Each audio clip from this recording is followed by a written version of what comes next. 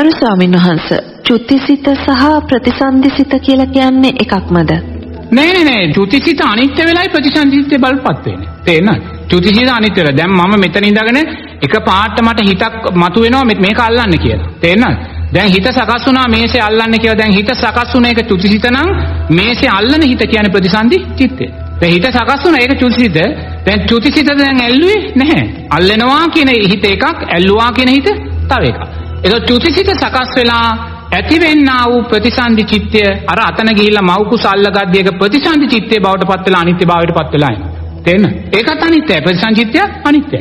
එක සිතුවිල්ලක අනිත්‍ය භාවය. තේරෙන මෙතන ඇති වුණා අතන ඇල්ලුවා. ඇල්ලුවේ මොහොතේ පටන් ආයිමත් එතන කාය සංස්කාර ඇතිවීම නැතිවීම තුලින් ආයිමත් පංච උපාදානස්කන්ධේ සකස් වෙනවා.